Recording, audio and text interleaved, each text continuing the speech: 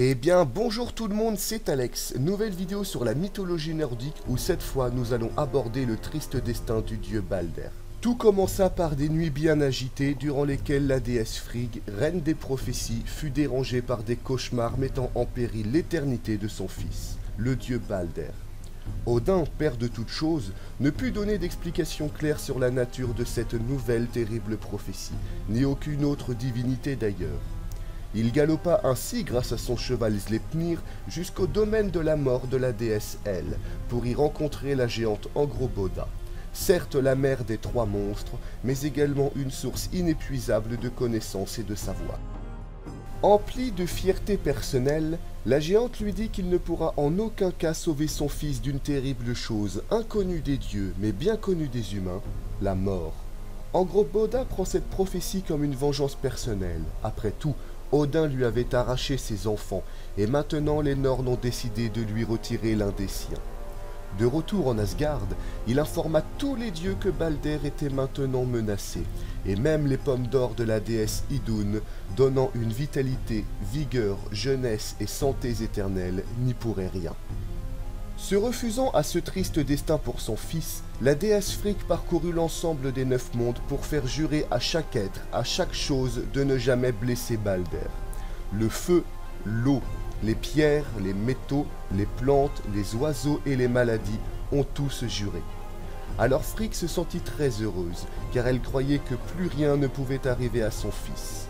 Tous les dieux étaient ravis, tous sauf Loki, jaloux de la beauté, de la popularité, de la bonté et de la gentillesse de Balder, il se transforma en vieille femme et demanda le secret de l'invulnérabilité de Balder à Frigg.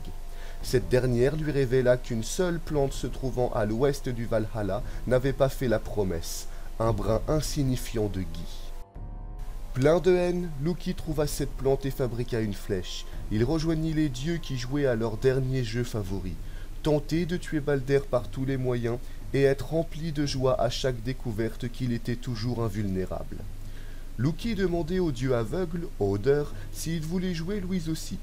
Oder en fut enchanté. Loki lui donna la flèche de Guy et guida sa main vers le but. La flèche perça le cœur de Balder, qui tomba immédiatement au sol, étant mort. Cette mort fut le plus grand malheur qui n'ait jamais frappé les hommes et les dieux. Oder en fut même exilé au Helheim par Vili, le frère de Balder. Les dieux donnèrent à Balder des funérailles de héros. Son corps fut mis sur un grand bateau avec tous ses trésors. Mais au moment où les dieux tentèrent de pousser le navire à l'eau, il ne bougea pas, car Balder était mort sans justice. Odin fit appel à la géante Hirokine, connue pour être capable de briser de tels sortilèges. Elle leva le sort et poussa le navire tellement fort que les neuf mondes entiers tremblèrent, ce qui énerva Odin qui l'aurait bien tué si les Ice n'auraient pas pris sa défense. Aux portes du Helheim, le dieu fut accueilli par elle en personne, qui lui donna un trône aux côtés du sien et qui donna la permission à sa divinité d'atteindre le monde des vivants. Ainsi la lumière continua à briller, la bonté à exister, la beauté à s'épanouir et la gentillesse à perdurer.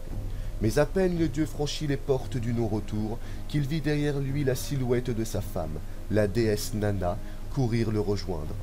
Ayant renoncé à sa divinité, elle se jeta dans le brasier du bateau funéraire et brûla.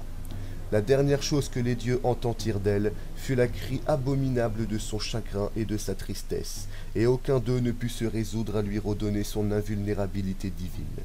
Elle accueillit également Nana et donna au couple une aile entière de son palais. Eh bien, j'espère que cette vidéo vous a plu. Si c'est le cas, je vous retrouve la prochaine fois. N'oubliez pas de commenter, de partager, de vous abonner. Et moi, je vous retrouve une autre fois pour une autre vidéo. Ciao tout le monde